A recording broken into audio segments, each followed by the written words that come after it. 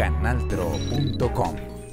Gracias, buenas tardes. Fueron tres meses de trabajo de la Policía Antinarcótico con el apoyo de las autoridades para que hoy se certificaran 5.000 estudiantes, más de 1.700 padres de familia y 170 docentes que tienen el compromiso de que esta ciudad estudiantil viva y disfrute de un ambiente sin drogas y sin maltrato.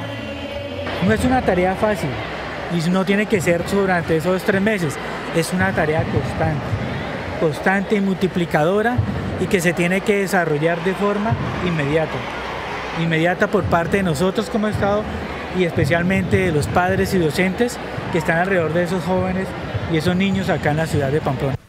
El compromiso de estos jóvenes y personas adultas es evitar que la juventud pamplonesa esté cerca del consumo de sustancias psicoactivas.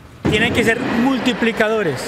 Vamos a estar atentos de que eso siga, de que pues obviamente la alcaldía, las entidades públicas y privadas sigan ese proceso que empezamos la Policía Nacional y que podamos culminarlo no en el tiempo, sino en la perdurabilidad para todos los niños, niñas y jóvenes y adolescentes de esta región.